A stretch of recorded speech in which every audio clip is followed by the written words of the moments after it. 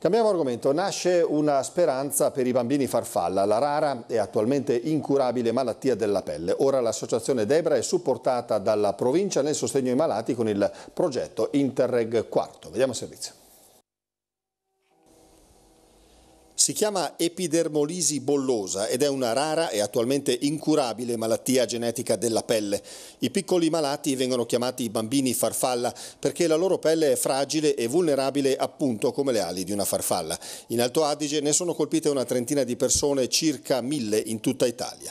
L'epidermolisi bollosa provoca bolle e lesioni su tutto il corpo a causa della frizione, anche la più lieve e a volte anche spontaneamente. La malattia non si limita solo alla pelle ma anche alle le mucose interne degli occhi, della bocca, dell'esofago, del tratto gastrointestinale, l'apparato urogenitale e anche alle vie respiratorie. In chi ne è affetto comporta dolore, prurito, cicatrizzazioni delle dita delle mani e dei piedi, carie, perdita dei denti e dei capelli, problemi alimentari o di digestione e a volte anche tumori aggressivi della pelle. Dunque un'esistenza davvero difficile, segnata dal dolore e con una prospettiva di vita ridotta. L'associazione Debra International, grazie principalmente a contributi privati, Privati offre sostegno e aiuto ai malati e ai loro familiari. Adesso, a fianco di Debra Südtirol Alto Adige, c'è anche la provincia di Bolzano che oggi ha presentato il progetto Interreg Quarto.